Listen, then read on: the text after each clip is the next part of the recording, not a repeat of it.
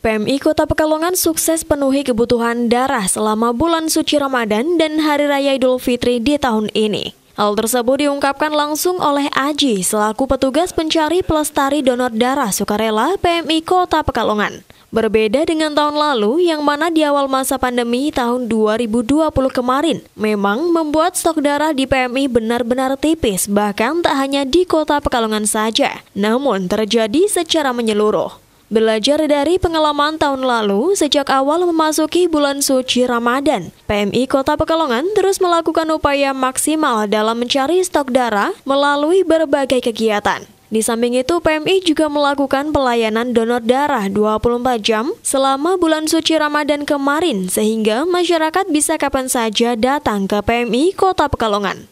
PMI Kota Pekalongan sendiri tetap terus mengimbau kepada segenap masyarakat yang belum melakukan donor darah agar bisa mendonorkan darahnya untuk saling membantu sesama yang membutuhkan. Uh, melihat dari perkembangan dari tahun sebelumnya memang ada perubahan. Kalau tahun sebelumnya memang kegiatannya tidak ada dan stoknya pun hampir katakan sangat kritis di tahun yang kemarin karena pandemi dan kegiatannya hampir tidak ada. Dan untuk tahun ini pun alhamdulillah cukup uh, terbantu walaupun stoknya nggak begitu banyak.